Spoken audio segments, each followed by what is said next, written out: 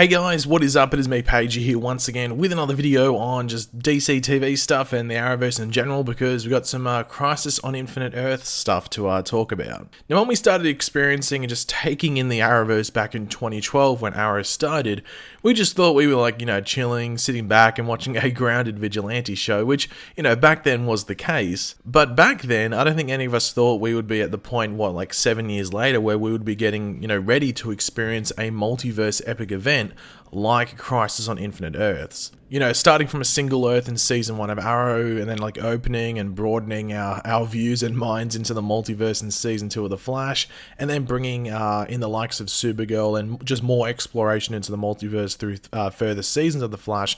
The multiverse just seems like a normal thing now. Like if there is any uh, like any multiversal character that comes into the Flash specifically, I guess no one really bats an eye or gives a crap. It is now just like a regular occurrence.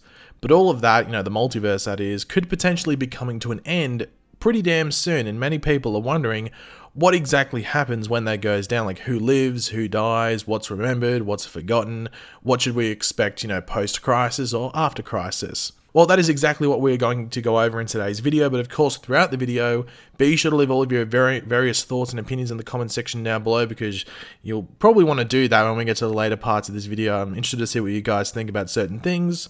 But yeah, of course, if you're going to enjoy the video as well and just want to show your support, if you want to drop a like on the video, that'd be awesome as well. So to start off, the thing that I think most of the non-comic crowd, if you want to call it, or at least the crowd not familiar with the Crisis story uh, in the comics are wondering about the event when it eventually rolls around is what happens if the multiverse is actually uh, decimated and just well, gone, and we are just left with one Earth. You could argue it's almost like rewinding it back to the early days of Arrow when the multiverse wasn't even a thing. And obviously, to start off with the obvious, we will have one Earth, but it won't, or at least shouldn't, be the same as what we have had before. It's not like every other Earth will be destroyed and it's just Earth 1 that's left, and they're the only survivor of Crisis. The Earth that should remain if everything happens the way we have set it up uh, will be a sort of like amalgamation of what we know. So a lot of stuff put together, but it's completely new, if that makes sense. So with this new amalgam type of Earth, it will have its own history, whether it's accurate to our history, which the Arrowverse is pretty accurate to, or something different in certain areas. Maybe like Jimi Hendrix was president of the United States or something back in the day, and that could be a major change in what was. Another example could be that aliens might exist. I mean, like Supergirl and Superman would, you know, most likely still be around, but, you know, the invasion crossover didn't happen. So the Kryptonians might be like Earth's only or first encounter with aliens, things like that. I'm sure most of you could think of a few more examples like that fairly easily. But the simple thing that was taken from the comics was that the things that were kept in the universe when the, after the crisis were the interesting things. So keep that in mind. But the important thing to note is that not all the characters from the multiverse will just be plucked and dumped onto this new Earth. There will be a single version of most characters. I, I would say each character we have known, but that most likely won't be the case, so I would just say most characters, and their history will be a bit different, some more than others they could have a completely different uh, backstory. Like certain characters, like Barry Allen, might have only been the Flash for what two years rather than six or so, or whatever they're up, whatever they're up to. And Supergirl might have arrived on Earth before Superman. She wasn't trapped in the Phantom Zone.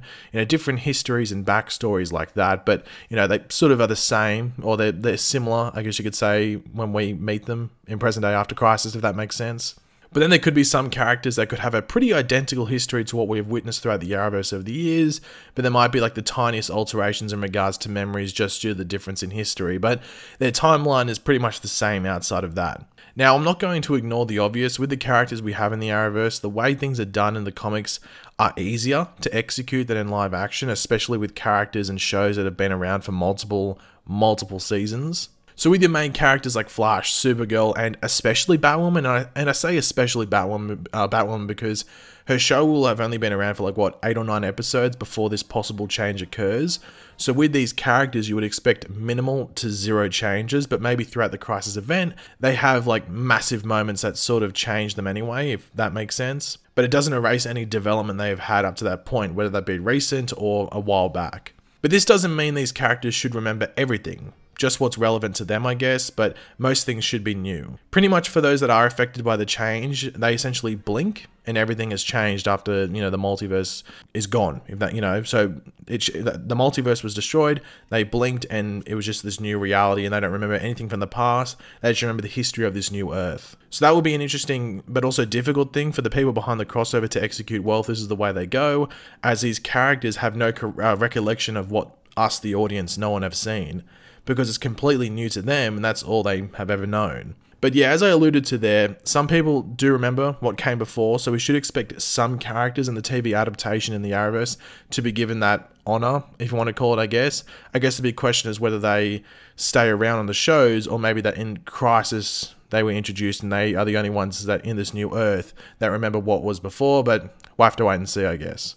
Like, really, it wouldn't surprise me in the slightest if Flash and Supergirl, and I guess Batwoman as well, do remember what came before, but as I said, we'll have to wait and see. But yeah, this is where we jump into the most interesting part of the video in my opinion, if you already sort of knew how Crisis worked, and that is who lives, who dies, what is remembered, and what is forgotten. And the easiest way to do this in, the video, I guess, in my opinion at least, is just to go through each of the shows individually and decide what could be written off or kept. And so this video isn't 35 or 45 minutes long, you know, going over each tiny detail that could change in each show, we will just choose like one or two major things that could occur after Crisis in each show. So Let's start with everyone's favourite show, Supergirl. Now, with Supergirl, and this will be the same with most of the shows, don't expect the main characters to randomly just change. Like, um, you know, Alex Danvers to be completely different or something, or to not be in the show at all. They should just stay the same, but just with those changes in memories and the history and stuff, just to, you know, so they fit in this new Earth. But what you could expect to change that is pretty major and that people won't be happy with, this is just a prediction by the way, but it wouldn't surprise me in the, in, in the slightest, is maybe some stuff with Superman as well as villains from the Superman Rogues Gallery. And, and by this, sorry, I mean they could make it that maybe Superman is dead or has been gone for a while, or maybe he's just missing, or maybe he's the, or maybe he's like the newbie of the family on Earth rather than Supergirl, as I was saying before. Maybe Supergirl arrived on Earth before Superman. Now, this would allow them to use some of the Superman villains as main threats, like they did with Lex Luthor last season.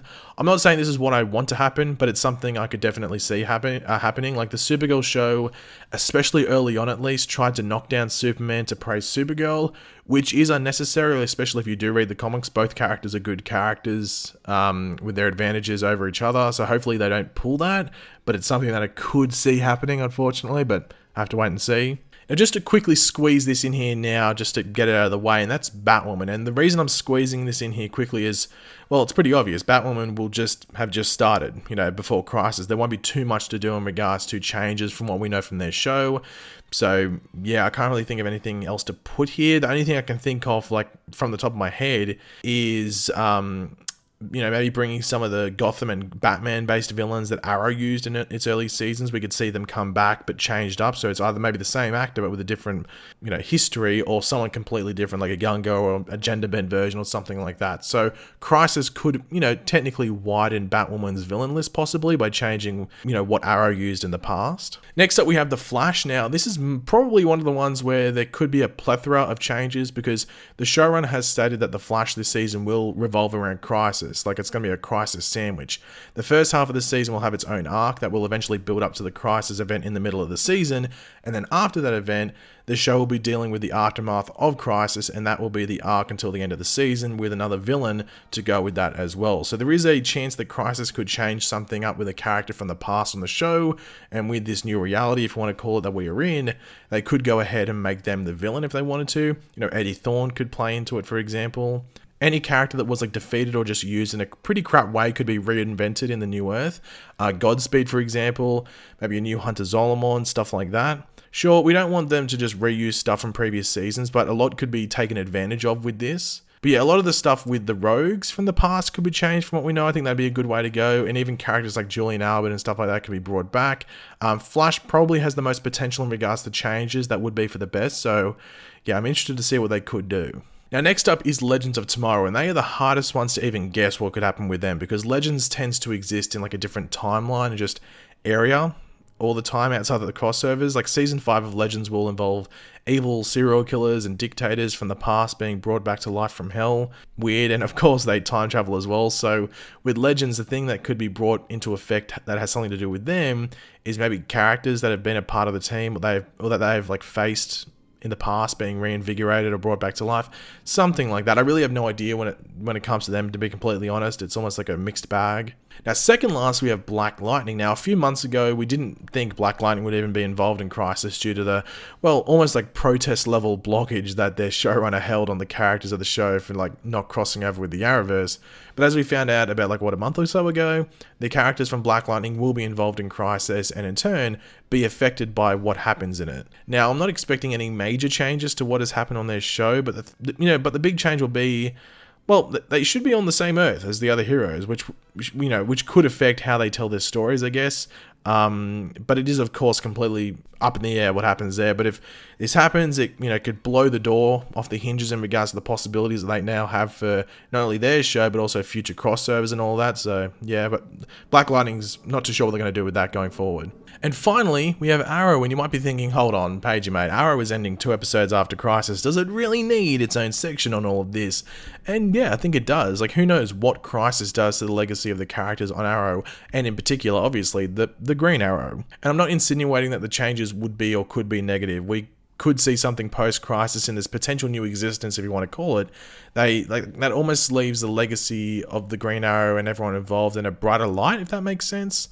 Maybe Star City wasn't shitting on Green Arrow in the past, or at least to the extent that it was that we saw, and certain characters could have different histories that connect to different corners of this new of this new Earth and universe that allow them to continue on. You know, various things like that. As I've said, and as it applies to most of the shows in the Arrowverse, the changes to the past and just the general molding of everything into a potential Sole Earth after Crisis would be massive for stuff going forward and also add another couple of years to each show as it could be seen, as it was in the comics, as a sort of like soft reboot.